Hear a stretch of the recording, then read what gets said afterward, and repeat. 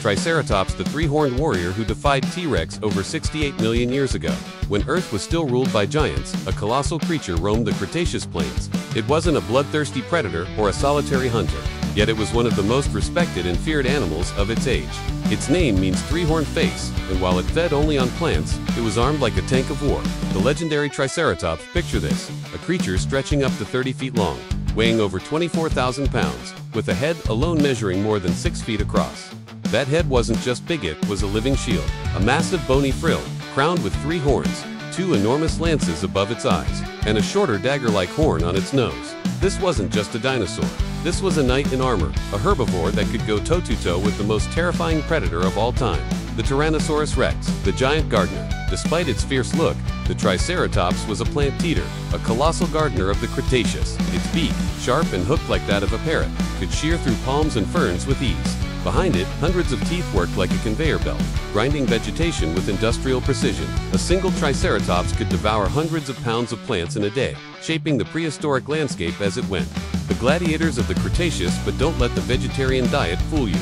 Those horns weren't just for show.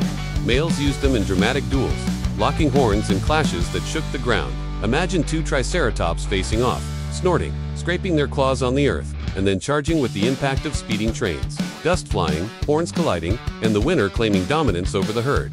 It was nothing less than a prehistoric tournament of champions.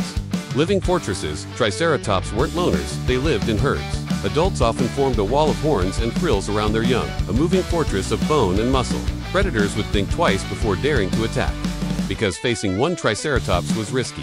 Facing several at once, that was a suicide mission. The rivalry with T-Rex, and then there's the ultimate question. What happened when a T-Rex met a Triceratops? Fossils tell the tale Triceratops bones marked with T-Rex bite wounds and T-Rex bones pierced by Triceratops horns. These weren't one-sided battles, they were clashes of titans. The predator with the bone-crushing bite against the armored warrior with lances on its head. Sometimes the T-Rex feasted, but other times, the Triceratops turned the hunter into the hunted, a legacy that lives on.